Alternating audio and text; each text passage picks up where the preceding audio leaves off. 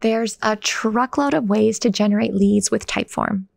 To start with, you can engage your audience with a fun social quiz, use it to give access to gated content, or leave a great first impression with interactive contact forms.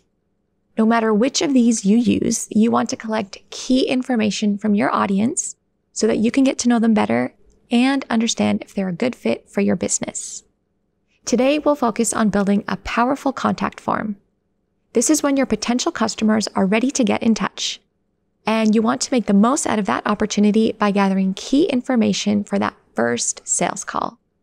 In fact, this is almost like having that first sales call without having to jump on the phone.